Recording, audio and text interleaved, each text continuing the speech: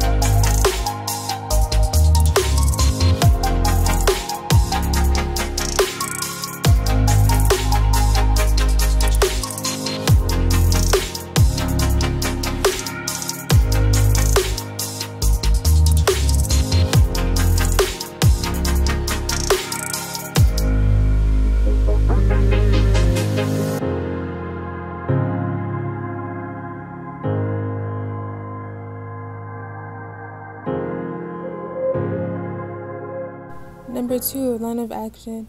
Line of action allows you to be very loose with your art. You don't have to worry about drawing something exactly for what it is. I feel like when it comes to sketchbooks, people think that you should have nice cohesive spreads. Each page should be filled with nice, lovely, detailed work, but that's not the case. Your sketchbook is yours. You can do whatever you want with it. You can have an experimental sketchbook where you discover new styles, or you can have one where, if you want, your every page should be nice and clean and detailed, but you do you. So right here, I switched to doing gesture drawings, and you guys, I cannot draw feet to save my life. The feet look like triangular blobs. Like, what is this? I really need to do a study on feet. I don't know when, but sometime soon.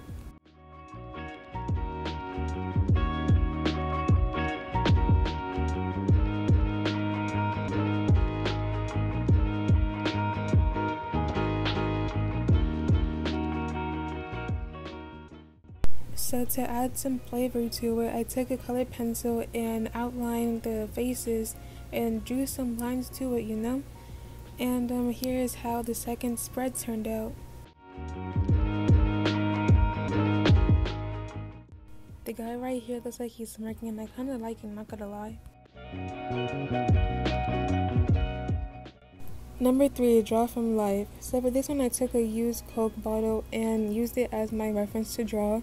So I took my Arteza colored pencils and I took the colors that I wanted to use for this, which were blues, and then blues and reds. And then after that, I sketched it out. So first, I used my color pencil to make my initial sketch. Then after, you'll see I take my my black pen and just go over it and add some detail, you know, refine it, and yeah.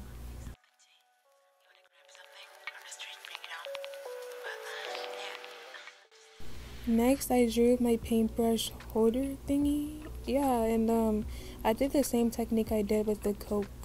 For both of them, I had planned on drawing them realistically, but instead I went for a more graphic slash illustrator style, mainly because I, I wanted to venture out to new styles and I kind of enjoy this too.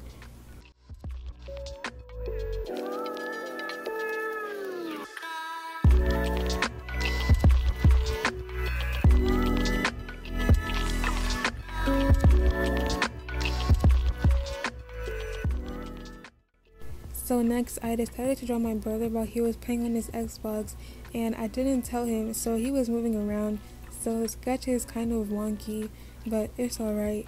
And for this one, I was just mindlessly drawing, really loosely, not caring about details. Anyways, here's a clip of what he was playing. With this sketch, I didn't really worry too much about adding so much detail and depth. I think I used my HB pencil, and I just went at it deep. Don't wanna swim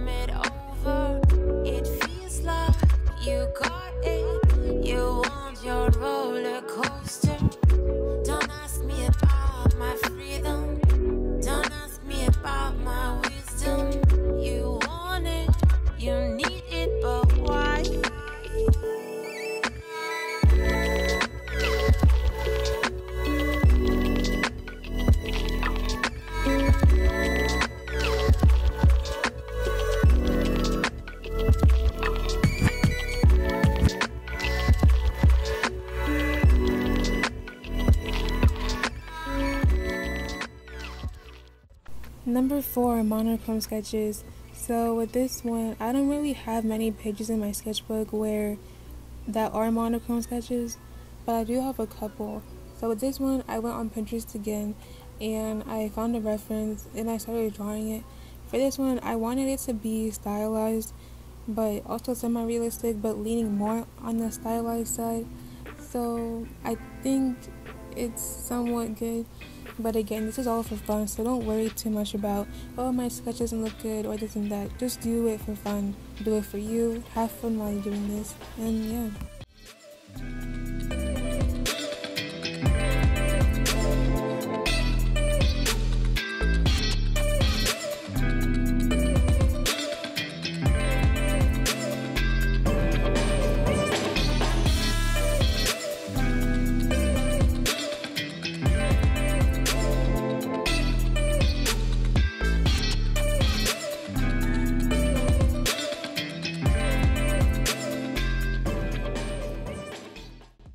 One thing I want to say is I think that monochrome sketches is a good practice because you can learn how to see value in color, like how dark or how light you should make a, ter- a certain color. And yeah, so here I found another reference on Pinterest of a cat because one, I don't draw animals in my sketchbook much, and I thought while I'm doing this, I should draw things that I don't usually draw to also improve. And this cat is so good looking. I kid you not, and that donut looks good too.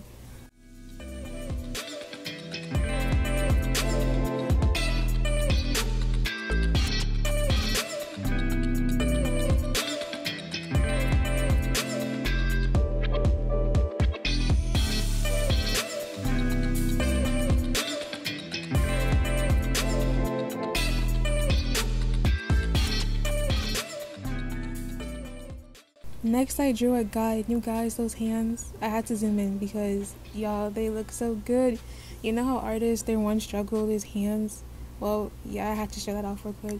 Anyway, so I drew some birds and ice cream, and then after that, a flower on the side to finish the spread. So here is how this spread turned out, you guys. This has to be my favorite spread in my sketchbook because one, the cat, the cat looks so good and to those hands that I drew, I am so proud of myself. But I hope you try this out and see what you could do. Last but not least, ink sketches. You guys, I have so many pages in my sketchbook where I just grabbed a pen and just doodled, whether it be random scribbles or I found a reference on Pinterest and decided to draw it. I feel like with a pen, it doesn't really matter if you make mistakes because you're using a pen. So don't be too hard on yourself. Just do random stuff. You can draw from life like this one I just showed you, or you just go on Pinterest again. Pinterest is your best friend. Find a reference you like, or just mindlessly doodle while watching your favorite YouTuber. And yeah. So right here, I went on Pinterest and I found a reference I've been meaning to draw for a while. So I take my pen, I start sketching it out. I didn't really worry about the proportions, though it's kind of wonky, but it's for fun. So I took a colored pencil, wrote in the background to fill up my sketchbook a little bit, and um, yeah.